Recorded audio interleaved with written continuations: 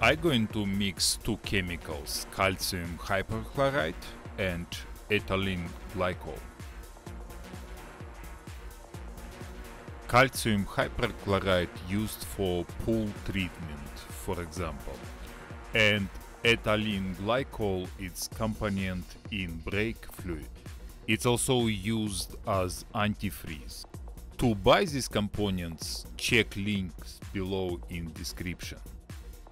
Basically, I'm going to use two different calcium hypochlorite product and see what happens. At first, it looks like happens absolutely nothing. Both glasses just sit there. And in about two minutes, first glass catch on fire, but second glass just sitting there and nothing, nothing's happened. Okay, we have reaction of one, absolutely nothing happens with uh, another one.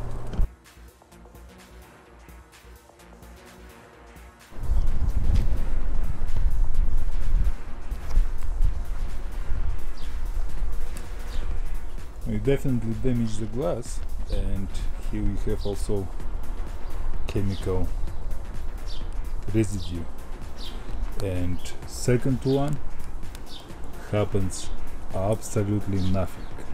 I just will let it sit here. So maybe not every carbonate chloride is the same or maybe just concentration is too low. Okay, just about maybe five minutes later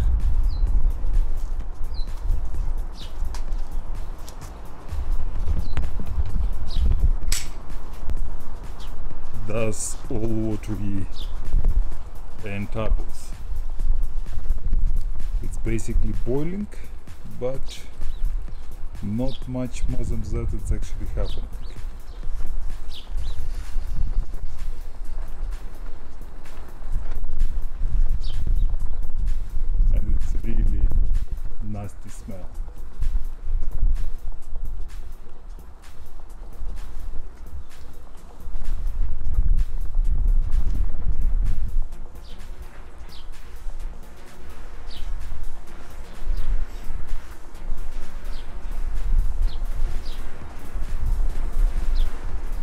Another compound which contain ethylene glycol is antifreeze. So let's repeat the experiment and see the result. We definitely get reaction but it's a lot less impressive than reaction with brake fluid.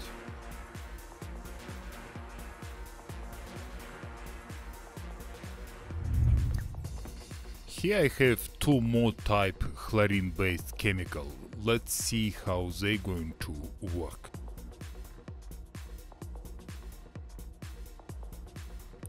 After a couple of minutes reaction definitely happened, but it is a lot less impressive than reaction with calcium hypochlorite.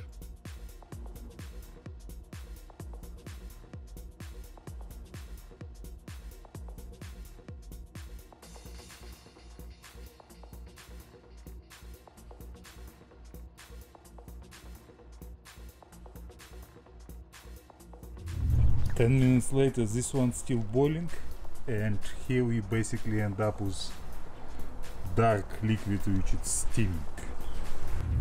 Calcium hypochlorite is definitely our best bet and now let's see how this reaction will go in plastic bottle.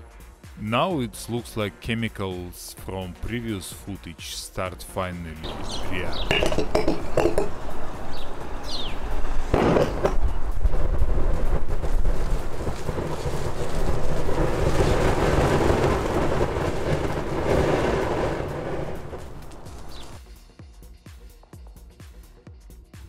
Now let's see what's happen if we're going to warm up chemicals.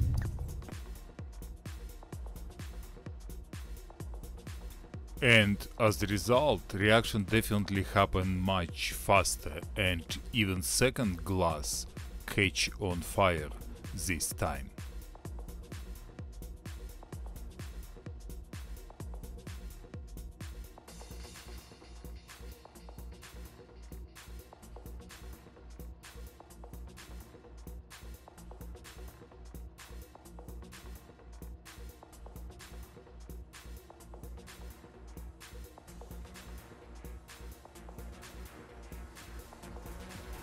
Now let's see what's going to happen if we're going to freeze our chemicals. I'm going to put everything in fridge and couple of hours later temperature is about minus 11 degrees Celsius so let's test it out.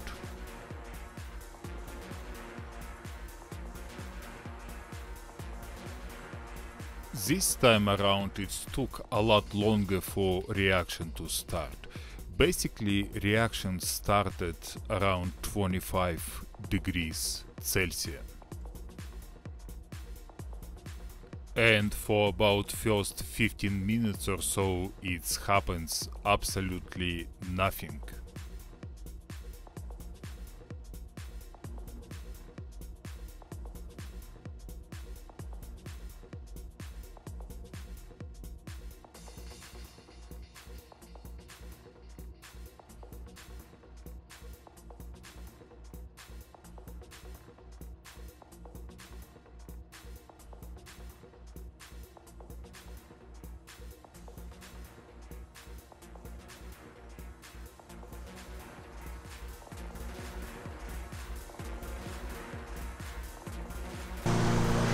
Reaction basically started 25 degrees Celsius.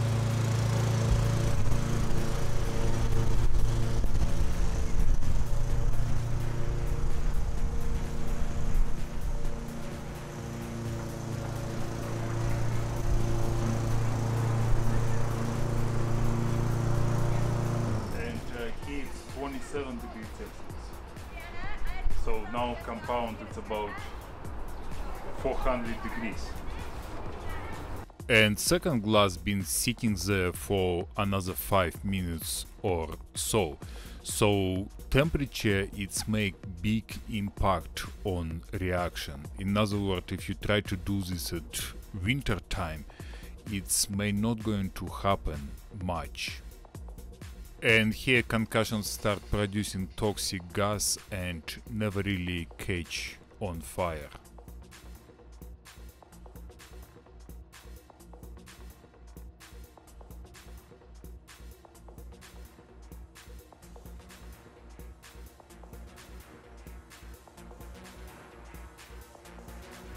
Next, I try to preheat compound first in boiling water, but how out too it's not too good as well.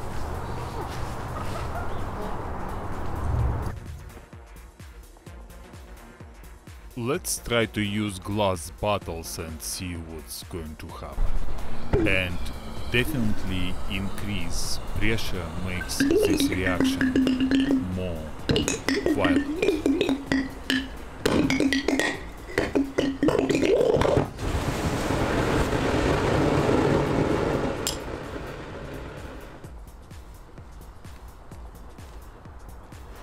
What do you think? You've built a pulse engine. And let's repeat it. Okay. Ah, here we go.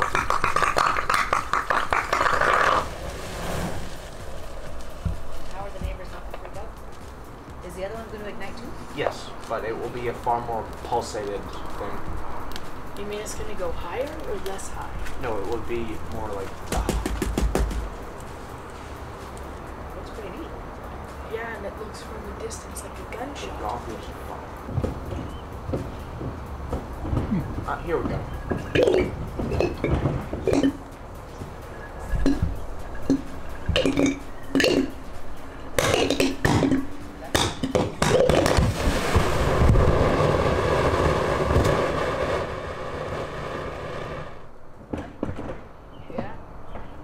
eau de vie. Yeah, I think it's cool. It's just unfortunate that the name was there at the time. No, I think it's